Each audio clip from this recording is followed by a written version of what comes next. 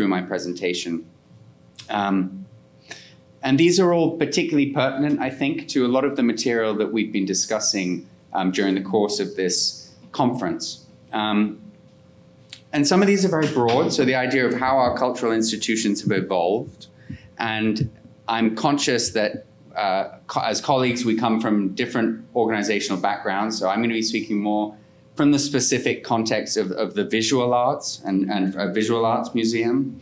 Um, what are some of the new models of exhibition making that have emerged in recent years? And for those who are here um, uh, just pr previously, the talk uh, about the new uh, Panama Canal Zone, this sort of territory of um, the shifting terrain of museum practice, I think is, is particularly pertinent. So I'm going to go through some of the fundamental shifts in curatorial practice um, and ask how these have sort of been, how are they related to some of the wider transformations? And that is to say that this concept of what I'm calling a dynamic exhibition, this is nothing new. So I'm going to begin with a bit of a historical uh, background to give uh, everyone uh, some context as to this sort of ongoing evolution of museum practice, really since the 1960s and arguably as far back as the 19th century. Um, so I'm gonna, I'm gonna pose that question, how it differs from these earlier historical forms of exhibition making, and how these changes have impacted museums' roles within the contemporary landscape. So let's get started. I'm, I'm focusing on a series of case studies um, these are uh, exhibitions from um, the National Gallery of the Cayman Islands exhibition schedule, primarily um, from the past three or four years. So recently, kind of straddling um, uh, the immediate years prior to the pandemic and, and, then subsequently since the pandemic, the onset of the pandemic. So talking about that historical arc, how have museums changed? And I apologize uh, for those in the room uh, some of this will be well known to you, but I think it's pertinent to just trace this very brief history of museum practice. So we start uh, not exactly at the beginning, but we start in the late 18th, 19th century, and we're looking at institutions that really evolved out of what were royal collections, aristocratic collections, uh, the products um, often of, of, dubious and ill-gotten gains that we discussed at the keynote address. So looking at the influence of imperialism and colonial expansion, 19th century ethnographic collections, so things like the British Museum, uh, the Ethnographic Museum at Trocadero in Paris, and this whole phenomenon uh, that also spurred things such as world fairs and this sort of anthropological Western gaze that was also alluded to in the keynote. Uh, but we're going to fast forward a bit and come to the advent of the modern art museum. Um, and what I mean by that is really this concept of the white cube, um, which has been so influential in museum practice. In fact, one of the things we have talked about at the National Gallery is our building, the architecture of our building, which is really very striking, but is very modern. Um, and so that kind of impacts questions of access, and I think how people perceive our institutions. We've gone from these imposing neoclassical facades to these sort of modern uh, white cube edifices. So um, MoMA is perhaps the prime example, the Museum of Modern Art in New York. And uh, I've included two images here. Um, one is an illustration that accompanied an exhibition in 1936, uh, Cubism and Abstract Art. And it's kind of the embodiment of this um, model of exhibition making based on canonical histories of Western art. So anyone who's studied art history, uh, this very old-fashioned model of a sequence of movements or styles, one coming very conveniently and neatly after the other. Um, and this notion of the white cube is something that uh, Brian O'Doherty, the critic, described in this way. Um, in his 1976 essay, and I provided a quote on the screen there, titled Inside the White Cube, The Ideology of the Gallery Space, the author describes this phenomenon in terms of an ideal gallery that subtracts from the artwork all cues that interfere with the fact that it is art.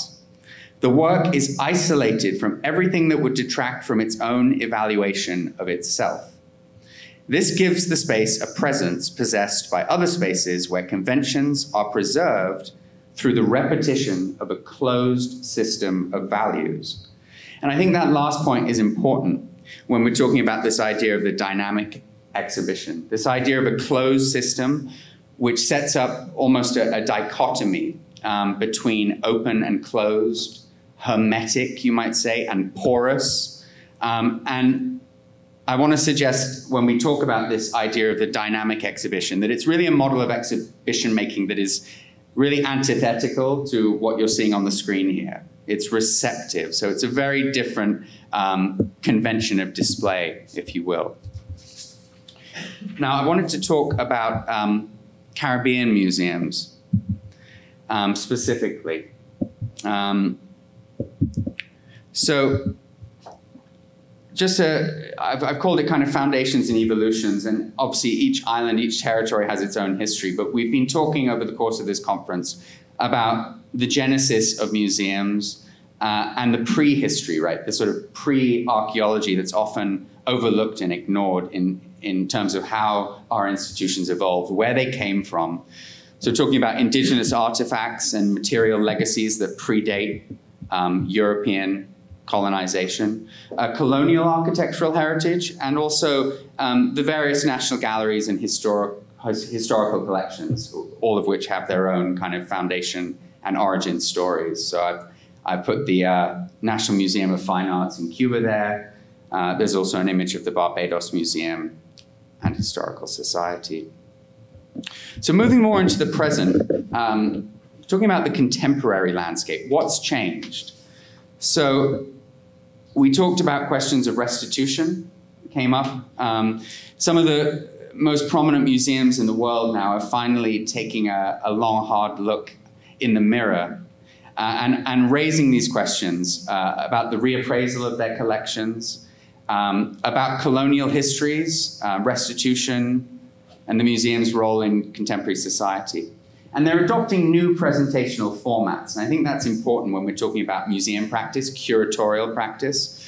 So, a good example of this would be Tate Modern, uh, which obviously evolved out of the Tate, opened in the year 2000 and was much heralded. And they introduced these themed galleries. So, these are um, something that's pretty commonplace now. Um, but moving away from a chronological presentation of their collection, that Alfred Barr model that I, I spoke about uh, earlier in the presentation, and introducing non Western perspectives. So, this idea of decentering those canonical histories. Uh, the Museum of Modern Art, which I, I sort of castigated earlier, um, have kind of moved more towards a, uh, I would say, this, this more receptive dynamic model. So, um, in 2019, most of you or many will know that MoMA uh, underwent a, a, very substantial renovation. Uh, this was following a, a, major, major rebuild in 2004. Uh, and one of the main things that they introduced was this idea of ahistorical juxtaposition. So in this image here, you'll see Picasso's Les Demoiselles d'Avignon, but you'll also see uh, alongside it uh, a work by Faith Ringgold um, from the 1960s. So this is part of this non-Western, uh, the introduction of a, a, kind of non-Western perspective into um, the, the, sort of shrine of our, our sort of major museums and arts institutions. And also, moving away from conventional exhibitions, biennials have obviously proliferated since the 1990s. And here in the Caribbean, um, you know, one of the most important biennials, certainly in this part of the world, is the Havana Biennial, and that was founded in 1984. Also, Sao Paulo Biennial in Brazil, uh, and this is an image from 2019. Uh, Havana is notable for um, having this wonderful array of um, installations sort of installed in situ. Um, this one was from the 13th biennial uh, down near the Malecon um, installation by the artist Okuda San Miguel. Um, What's also been, I think, really promising to see is this sort of widening of the institu- institutional validation of Caribbean art. Um, so I picked up a couple examples here. Um, the Perez Art Museum is obviously um, largely responsible, in, in, large part, has done um, really great work in giving Caribbean artists the sort of visibility that they deserve. Um, this is an installation shot from a major exhibition of contemporary Caribbean art that happened right before the pandemic, actually called The Other Side of Now. And uh, currently, actually, at the uh, MCA in Chicago, um, there's a, another big survey of contemporary art looking more at Caribbean art from the 1990s. So, so these are real breakthroughs from where perhaps Caribbean art was seen um, even 10, 20 years ago. So I'm going to come to this idea a little bit more, kind of pass out this idea of the dynamic exhibition. Um, so there's a couple of images up on the screen, um, one of which is of uh, the Brooklyn Museum in the top right-hand corner. This was an initiative they introduced called Target First Saturdays.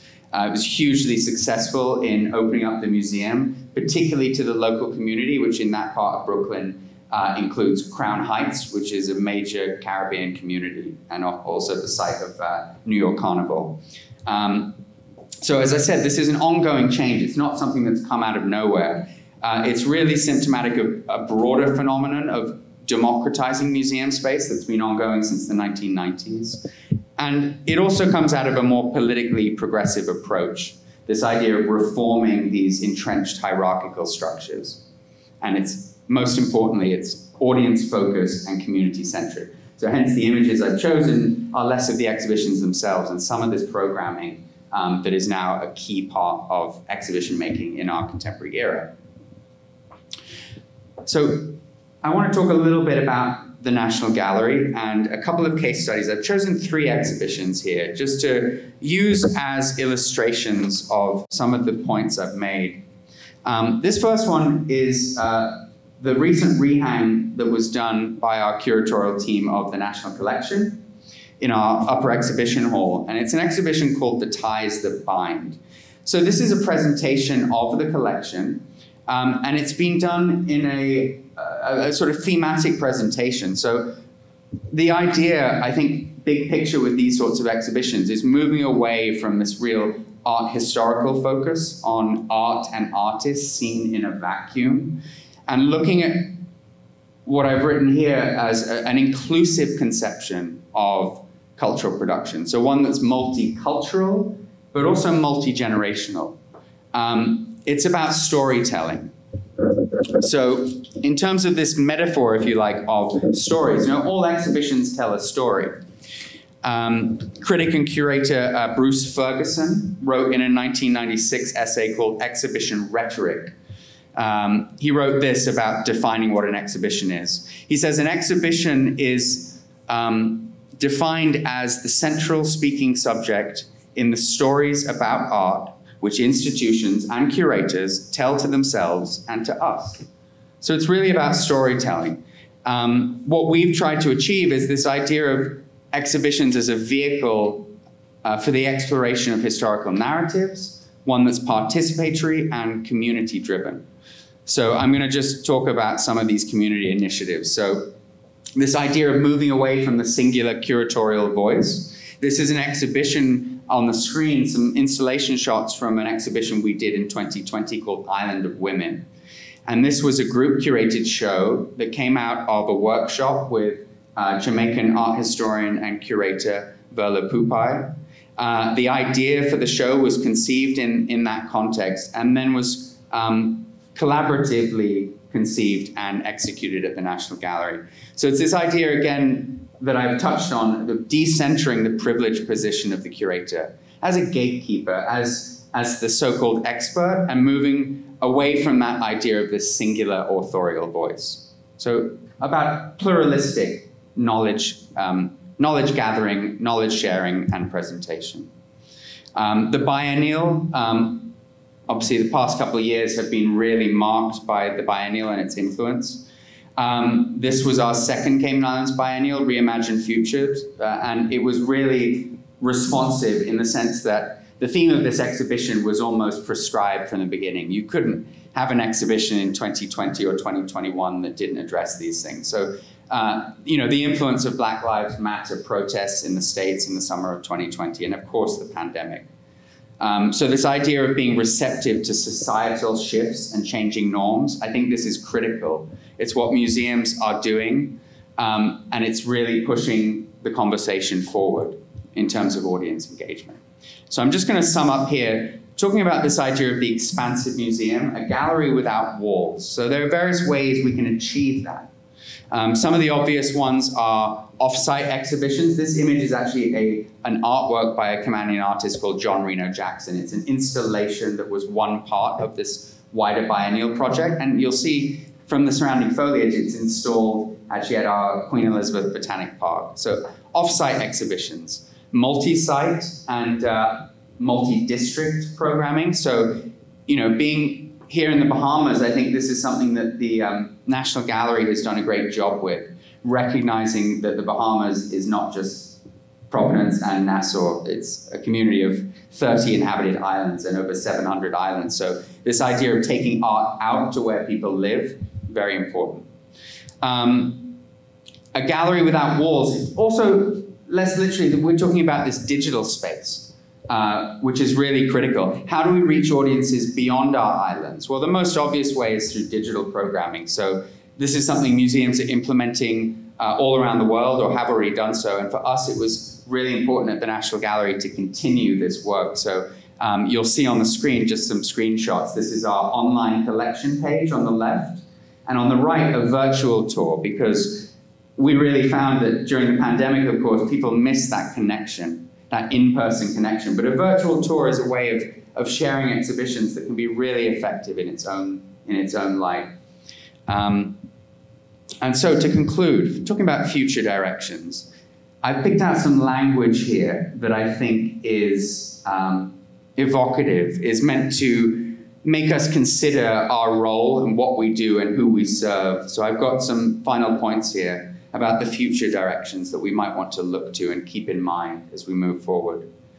Um, the idea of a museum, we've talked about the ICOM definition. Well, if we're transforming our institutions, perhaps we need to give ourselves new names as well. So this idea of a civic space is, is very productive, I think. Talking about everything the museum does, not just its exhibitions, so wellness programs, outreach, events, education and programming. Um, making sure that we we stay responsive and socially engaged. So this is about giving voice um, and amplifying voices from the community. And it's also about providing a, a platform, a platform, a space for people to uh, share and be heard. Um, last couple of points I wanted to make on this, this very pertinent point of the transformation of museums. Um, the deprivileging of the exhibition. So this image, to conclude with, I haven't chosen an image of an exhibition, but I've chosen an image from our West Bay Heritage Day. This was just this year. Um, talking about going out into the community, bringing art to people where they live, where they can access it. And I think this is something that's just starting. It's an ongoing process of critical self-reflection. And that means being authentic and asking ourselves tough questions about the work that we're doing. And it's something that's predicated on an inclusive and equitable model of cultural production and display. So it's really about redressing historical imbalances. So I want to say thank you and that whirlwind uh, presentation, but uh, time for questions if anyone would like to ask a question.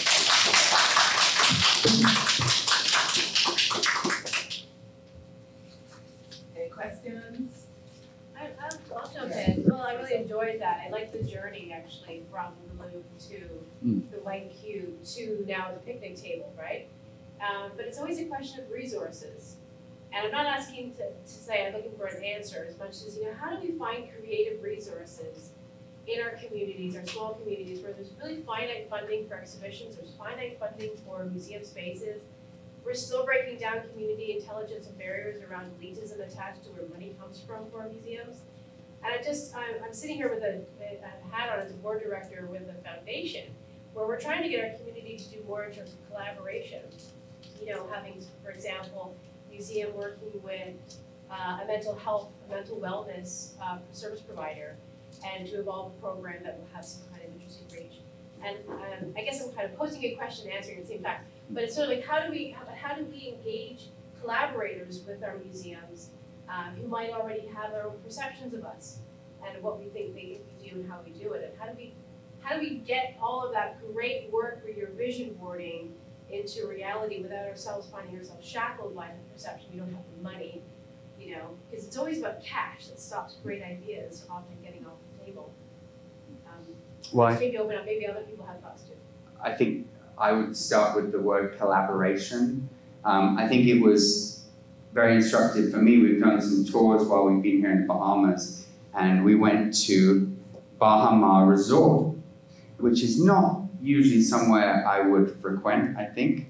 Um, but you know, you go in with that cynicism or, or sort of slight uh, skepticism about you know the conjunction or the marriage of tourism and commerce and the visual arts. You know, we see them as kind of uh, antithetical or opposed to one another. But I think there can be productive partnerships where, if we're willing to put art in spaces where perhaps previously it wouldn't have been deemed appropriate. Um, you, you reach new audiences. And in fact, when we were walking around, we went and visited the Current um, and Echo as well, another contemporary space within Baha Mar.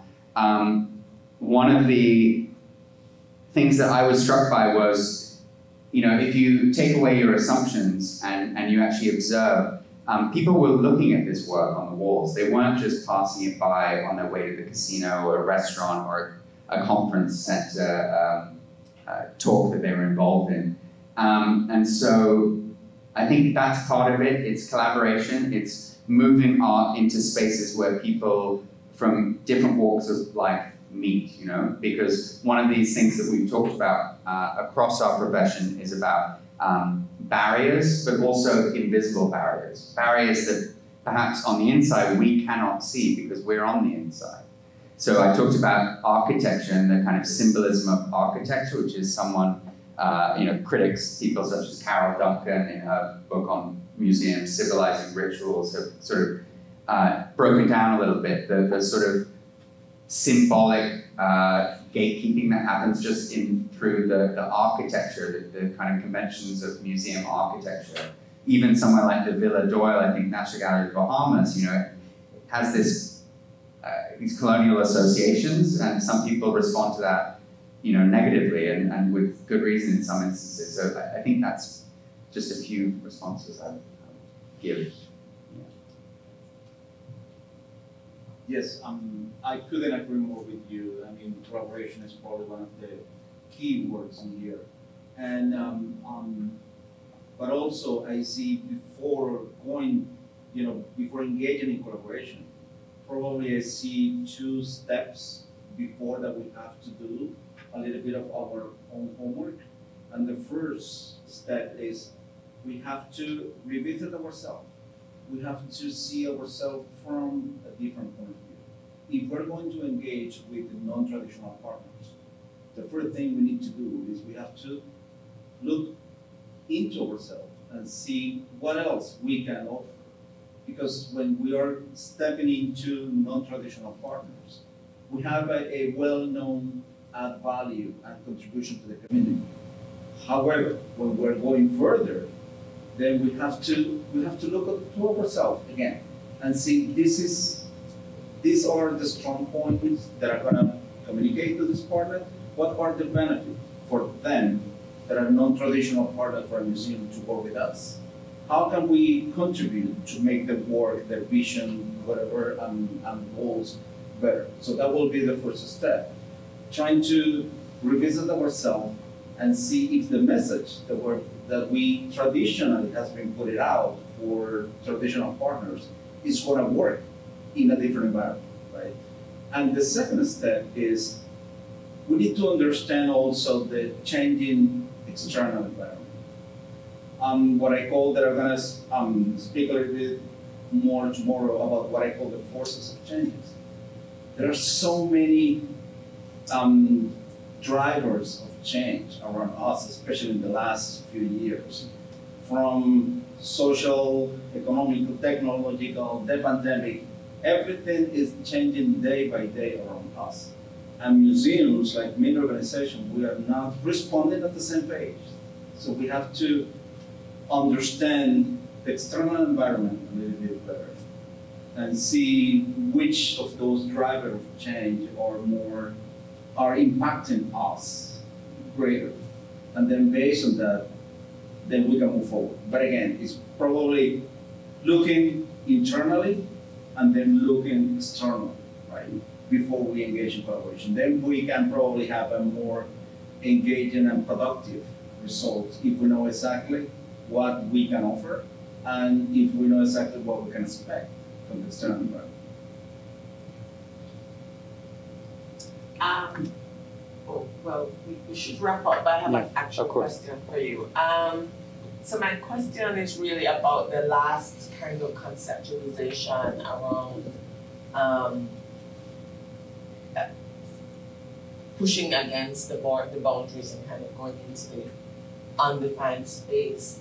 Um, so how how is how are the audience how is the audience reacting to the change, right? Because I think there's a way in which um, we we I think as professionals we see the kind of borderlessness as being an important transformational moment in our engagement with our work, but we we actually do have multiple stakeholders, and there is a large stakeholder body that likes the idea of a museum in a building Mhm. right?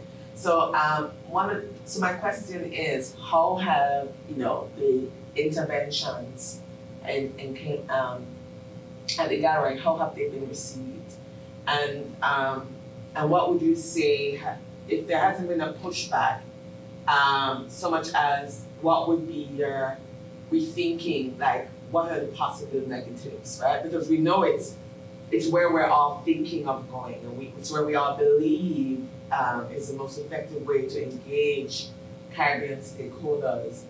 But you know, very few of us have actually said, well, there there's some things that we really need to think about. That, um, you know, and so do you think there are things that we need to think about? and We should just run straight down the road, or are there stakeholders who are like, hold up, I'm not comfortable with this? Well, I, I think it's, you know, it, first in terms of context, you know, the National Gallery of the Cayman Islands was founded in 1997, so we're a relatively young organization. And the art scene in Cayman is equally relatively young. We're talking about 50, 60 years in terms of a professional fine art practice. So um, it's still a new field, you know, an emerging field. And I think um, communities want to go into spaces that reflect them. Um, they want to understand, and be part of um, an institution, not feel like an outsider when they come into it. So I think one of the ways you address that is we talked about access. You know, we have free admission at the National Gallery, which I think is very important. Um, people often overlook that. Um, access on a literal level, you know, uh, uh, the Bahamas, you know, with their inter-island traveling exhibitions program, I mean, that's really critical because you're, you're trying to span this huge geographic space, right? Communities that are physically detached. Now, Cayman is a, a, a, a trio of islands, you know, um, but very, very centralized. So, you know, we have a population of about 80,000 now, officially. Um, 78 of those 80,000 people live on Grand Cayman, and between 50 and 60% of that number live on the Western Peninsula. That's George Town, Seven Mile Beach. So the outer districts, while they're connected to the island, can often feel quite removed. And so, from what we've seen, audiences are very receptive to when you come out to their community, put art in their neighborhoods and communities where they can actually come and see it. Uh, what we've done uh, recently, it's, it's a continuation of a program that was called Art on the Road. Uh, you think about the collection, we talked about kind of conservation issues in the previous presentation. Um, obviously, there are barriers to bringing, you know, oil paintings out in 80% relative humidity and what have you. And so uh, we've actually produced reproductions, um, very high quality reproductions uh, that we can travel. So actually bringing the collection, not just um, rotating temporary exhibitions. And then, you know, piggybacking on, we talked about collaboration, where there are um, district days or where there are festivals, where people are gathering for other forms of um, well, for fun, right? For cultural activity, for eating, for uh, sharing food, um, making sure we're part of those events as well. Um, and that's something I think that goes back to the example I gave of the Brooklyn Museum, where um, that initiative they did, having late night opening hours, having DJs, you know, they had, you know, soca and dance hall nights and things, and people started coming to the museum, and what they saw is they'd redeveloped the front facade of the Brooklyn Museum, they built an amphitheater. Uh, they're kind of like bowl seating, you know, and kids started to come up and just sit on these seats and hang out, and they would skateboard and then chat, or they're on their cell phones, right? But slowly, bit by bit, they started to sort of poke their head in the doors and say, what is this place? You know, these were, in many cases, families who had lived in the neighborhood for years and realized, I'm allowed in here, I can go in here. Yeah, come on in. And people would start going in, and so I think building those bridges is, is really what we're talking about, however you can achieve that. So. Shani, if I can add to that too, um, I think for us um, as a team at NDC, and there's a lot of us in the room today, it's not having a finite difference between the curatorial department and the education outreach department. So when we're conceptualizing these projects, whether it be the exhibition sitting inside the walls, or we have satellite venues in both of the outer islands that Will mentioned as well, and we're now going out um, to do pop-up exhibitions in the districts too, is ensuring that that whole team is activated around it and contributing to what it's going to look like because we're going to have much more success and engagement if everyone is contributing their stuff. So that's really how we're setting up the several of the models that Will has shared is that bringing those heads together straight away and having the programming be as an inherent part of project as the physical exhibition is, is too, and I'm finding a lot of success Is there any other questions as we wrap up? Yes, sir.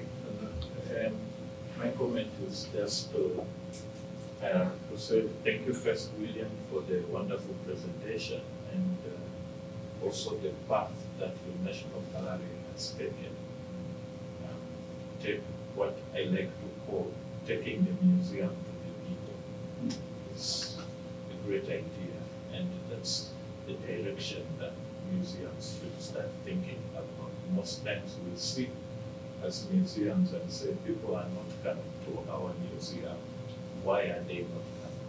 Mm. But we don't. We rarely sit and say, why do we take the museum to the people? Mm. And, uh, and uh, that's part of decolonizing our exactly. minds, actually, uh, that we should be thinking about as uh, museum uh, professionals. And when it comes to partnering to non-traditional partners that uh, don't understand uh, much of what we do. We worry what is it that we're taking to the table. One of the things that is different that we do as museum professionals and, the, and as museums is that in the museum is the only place different from a school environment where a person comes in he chooses what to learn, how long it will learn, he, will, he or she will learn, and what they will learn. And it gives a very different experience than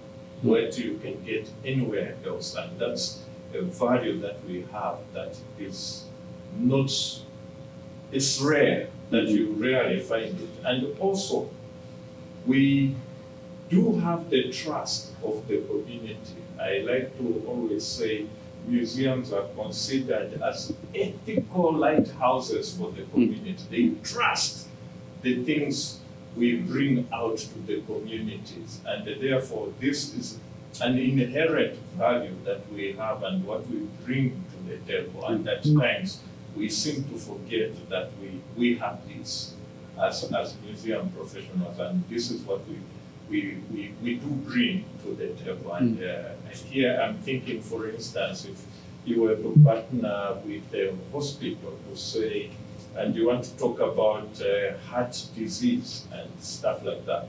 You know, if the hospital wants to talk about these non-communicable diseases and they make an open day, you know, the people that are timid of mm. just the hospital environment, they will not go there, even if it is there. But if it is brought to a museum and you make your programs and people feel relaxed and they, they, they're in an environment that they can uh, go there and, and learn more about these issues. It's different. And that none, there are no very few institutions I know have that that value in us. And this is one thing that we must cherish yeah. as museum professionals and always remember, which is uh, very important. And shining, yeah. of course, so I have to stop. Thank you.